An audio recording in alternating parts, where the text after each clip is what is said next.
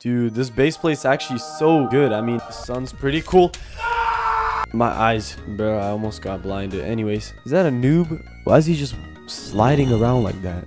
Is that a melon hat? Do you need some help? Evil Dev Melon? No, wait, wait, wait, wait, wait, wait, wait. I thought you were dead, bro. I thought I killed you. Wait a minute. Wait, wait, wait, wait, wait. Wait, please. No, no, please, no, no. Please, please. If only I had something that'll help me. Wait, what? Hold on a minute. That's it, Dev Melon. You can't do anything. You can't do anything to me. That's it. That's it. I have the power. It's not, not, nothing could kill me. Nothing could kill me. Here, try. Wait, no, no, no. This ain't, this ain't, this isn't, this isn't fair.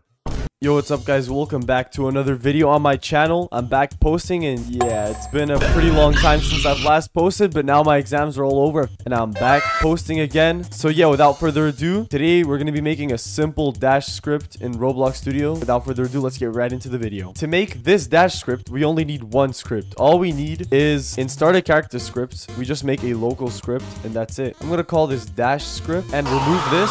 But yeah, so first thing we need is we're going to get some variables, lo local user input service is equal to game get service user input service. We're gonna get our player and since it's a local script we can do local player is equal to game dot players local player. We're gonna also need our mouse local mouse is equal to player get mouse. And you might be thinking devmelon what, what the, the hell? hell? why do we need a mouse if we're doing a dash script? I've never seen a dash script that uses a mouse well, actually, we're going to use this to get our keyboard that we're pressing, but I'm going to show that later on in the video. We're going to also need our character. Local character is equal to script.parent. We're going to do that because it's in starter character scripts, which means it's in our character. And we're going to do local HRP is equal to character.humanoid root part.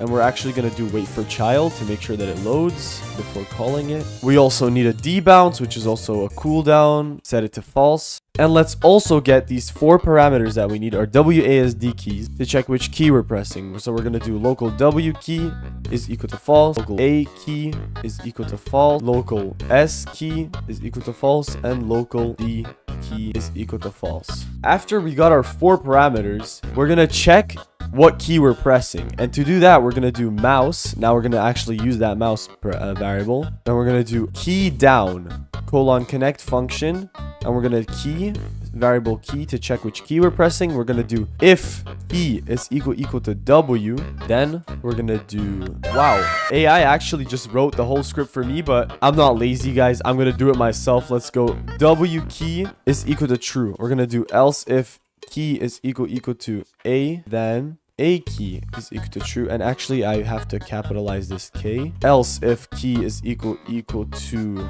S then S key is equal to true and then else if key is equal equal to D then D key is equal to true.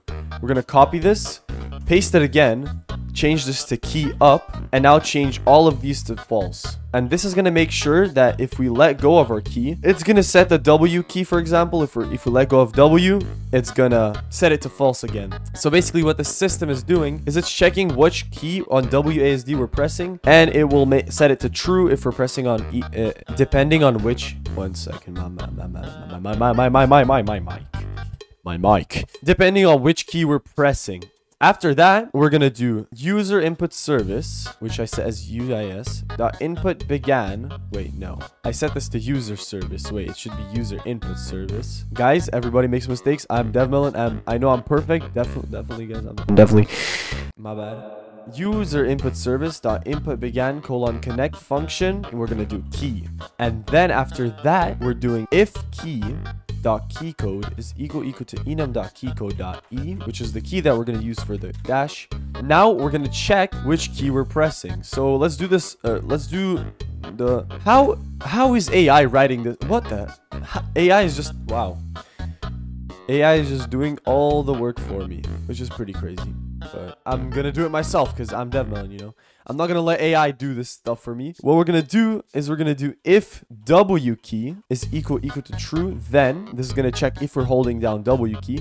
Then we're to do if debounce is equal to false, then that's to make sure we don't have a cooldown so that we can't spam. Local vel, uh, short for velocity, is equal to instance.new body velocity. Set it to HRP. It's going to make that body velocity in our humanoid root part. We're going to do vel.maxForce is equal to vector3.new. We're going to do math.huge0 math.huge Then we're going to do velocity dot velocity is equal to humanoid root part dot c frame dot look vector times 100 then we're going to put it in the debris so game dot debris add item velocity and then for 0.2 seconds which means it will get destroyed after 0.2 seconds to stop us from dashing infinitely and then we're also to do wait one uh, wait, we're gonna set debounce to true.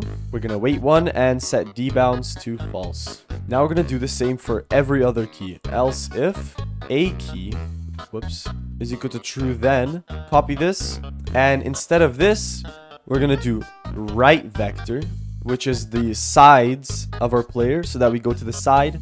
And we're gonna make this minus because instead of moving us to the right, we want it to move left because we're pressing the A key. Uh, we're gonna do this for the S key else if s key is equal to true then paste it again take this one and here we're going to set it to a minus over here we're going to set the look vector to minus 100 so that we go backwards and then we're going to do else if d key is equal to true then paste it again i'm going to take this one the one with the right vector and remove the minus so that we go to the right. And that's pretty much how we do it. So fingers crossed when we join it's gonna work and there's gonna be no errors because we don't like that. So I'm actually gonna go in shift lock because it works best in shift lock. I mean, of course it works in normal, but it's pretty much intended for shift lock. But yeah, now if I press W, I press E, we go forward, we dash, we have a little cooldown so I can't spam.